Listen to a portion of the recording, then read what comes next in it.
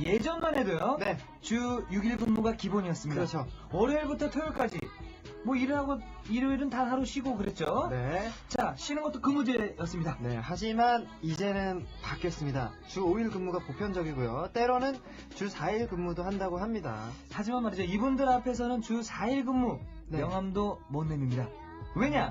이분들은 일주일에 단 하루 네. 일을 하기 때문이죠. 하루만 일하나요? 네. 그 단 하루를 위해 주 6일을 연습하고 땀을 흘립니다. 그렇죠. 항상 최고의 모습을 보여주려고 노력하는 분들. 그래서 나오자마자 가요계를 다 불태워버렸죠. 뭐 가요계만 불태웠겠습니까? 많은 팬들의 가슴도 불태워버렸죠. 이분들이 무대에만 서면 단 1초도 눈을 뗄 수 없습니다. 이분들이 무대에 서면 그 넘치는 에너지를 주체할 수가 없습니다. 자, 걸그룹의 파워를 보여주는 분들이죠. 오늘 이 네 분과 즐거운 파티를 한번 해보도록 하겠습니다. 준비되셨나요? 네. 아직 덜 된 것 같아요.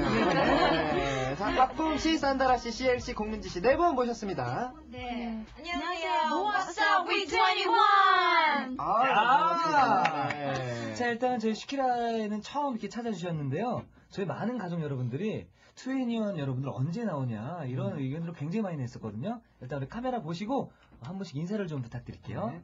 네, 안녕하세요. 투애니원의 리더 씨엘입니다. 야, 네, CLC. 네, 반갑습니다.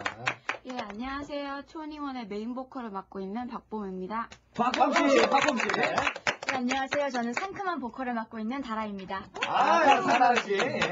안녕하세요. 투애니원의 막내 민지입니다. 아, 민지씨. 민지씨. 아, 일단은 슈키라에는 처음 오신 거잖아요. 네. 네. 어떠세요?